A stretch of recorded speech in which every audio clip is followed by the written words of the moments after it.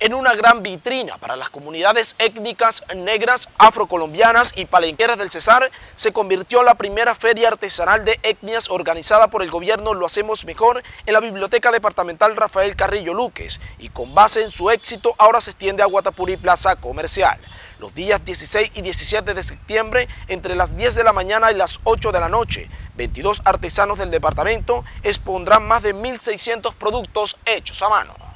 La primera feria artesanal de etnias organizada por la Gobernación del Cesar en la Biblioteca Departamental Rafael Carrillo Luques durante hoy y mañana 17 de septiembre se extiende al centro comercial Guatapurí Plaza como una manera de proyectar la cultura, tradición y ancestros de las comunidades étnicas negras, afrocolombianas y palenqueras del departamento. La importancia es la siguiente, que hicimos la primera feria y esta es una extensión de la primera feria.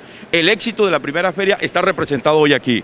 Estamos pidiéndole a todo el departamento del Cesar, a Valledupar, que venga a apoyar a los artesanos, un apoyo institucional que recibe del gobierno departamental de Cesar, lo hacemos mejor. Los artesanos están contentos, entre otras cosas, periodistas, están contentos los artesanos porque sienten la reactivación económica, nos decían eh, las indígenas, estamos muy contentos con el gobierno departamental porque estamos, teníamos estos productos allá.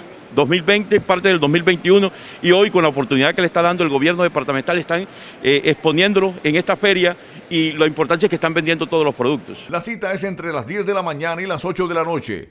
Serán 22 artesanos que expondrán más de 1.600 productos hechos a mano. Canastos, café orgánico, mochilas, jabones artesanales, sandalias, bolsos, sombreros, líneas capilares, hamagas y turbantes serán algunos de los productos que ofrecerán los artesanos en el Cesar.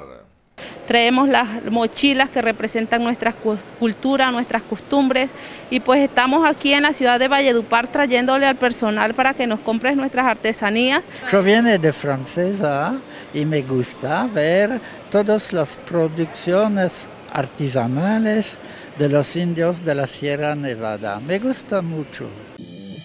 ¿Te gustaría trabajar en la industria de la tecnología? Certifícate en dos meses como desarrollador web. ¿Qué vas a aprender? Desarrollo web responsive, workflows, gestión de programas de diseño, programación básica, metodología 80% virtual, 20% presencial. Escríbenos al WhatsApp 305-306-0138. Syntactic. Somos una academia que crea tecnología inclusiva, relevante y cool.